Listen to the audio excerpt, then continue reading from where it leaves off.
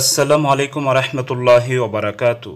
মহান রব্বুল আলমিন সুরা ইয়াসিনের পঁয়ষট্টি ও ছেষট্টি নম্বর আয়াতের সাদ করেন, যার অর্থ হল, আজ আমি তাদের মুখে মোহর এঁটে দেব। তাদের হাত আমার সাথে কথা বলবে এবং তাদের পা তাদের কৃতকর্মের সাক্ষ্য দেবে। আমি ইচ্ছা করলে তাদের দৃষ্টিশক্তি বিলুপ্ত করে দিতে পারতাম। তখন তারা পথের দিকে দৌড়াতে চাইলে কেমন করে দেখতে পেত? সুপ্রিয় দর্শক, পরকালে আল্লাহ রবুল্লা আলমিনের মানুষের ইচ্ছাশক্তি বন্ধ করে দিবেন এবং মানুষের যে অঙ্গ প্রত্যঙ্গগুলি আছে, সেগুলি যে যেখানে গুনার কাজ করেছে, পাপের কাজ করেছে, সেগুলির সাক্ষী দিয়ে দিবে।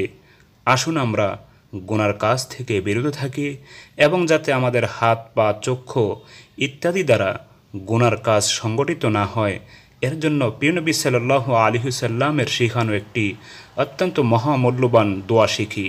সুপ্রিয় দর্শক, এ সম্পর্কে হাদিসের মধ্যে এসেছে হজরত শাকাল ইবনে হমাইদ তিনি নবী সাল্লাহ আলিহুসাল্লামের নিকটে এসে বললেন, হে আল্লাহর রসুল, আপনি আমাকে এমন একটি দোয়া শিখান, যাহা আমি নিয়মিত পড়ব।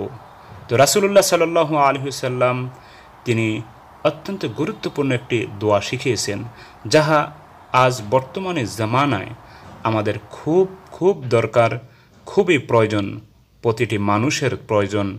কারণ বর্তমানে যেখানে যাওয়া হয়, সেখানে শুধু গুণা আর গুনার ছড়াছড়ি। তাই আসুন আমরা আল্লাহ রবুল আলমী নিকটে এ দোয়াটি করি, যাহা নবী সাল্লাহ আলহিসাল্লাম তার প্রিয় সাহাবিকে শিখিয়েছিলেন।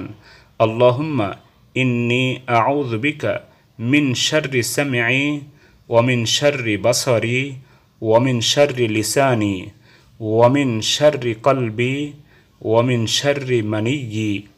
اللهم إني أعوذ بك من شر سمعي ومن شر بصري ومن شر لساني ومن شر قلبي ومن شر مني.